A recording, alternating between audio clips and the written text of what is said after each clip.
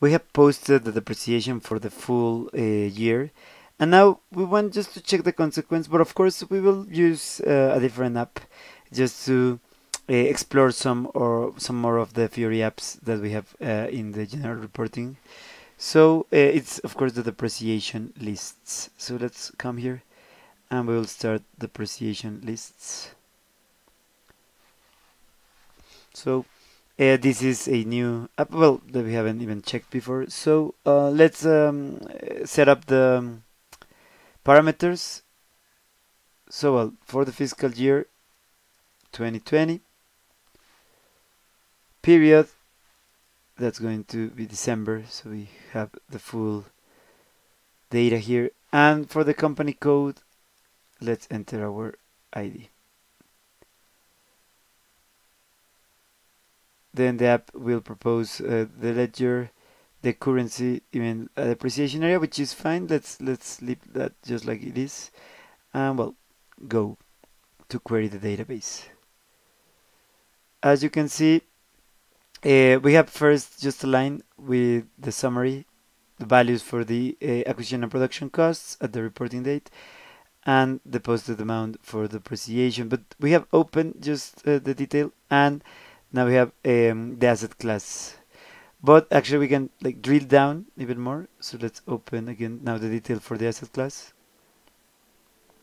And well we have each uh, one of the assets that uh, we had uh, just relevant in the previous year that we uh, had an acquisition and that now that we have also posted the depreciation we have the full amount. As you can see um, well the APC is the same for the two of them. We we, we had that actually also on the same date. So that is also the reason they have the same useful life and the uh, full uh, depreciation amount for the full year is also the same. So 15,000 euros.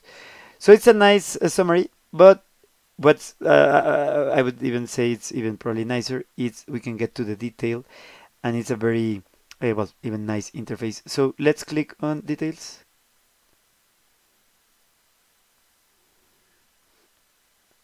And well, why is it also a, a, great app here? We have this nice graph. Now we know uh, how much of the depreciation has been posted. Uh, and of course, that is considering the useful life, the depreciation key, and that it's a straight line to zero. Uh, well, and we have all the parameters. We have the depreciation start date, and well, at the just at the end, the amount section, just a summary.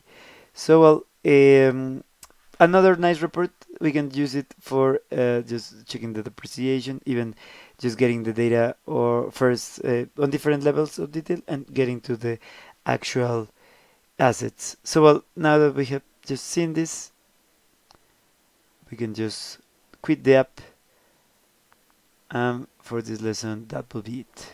Thank you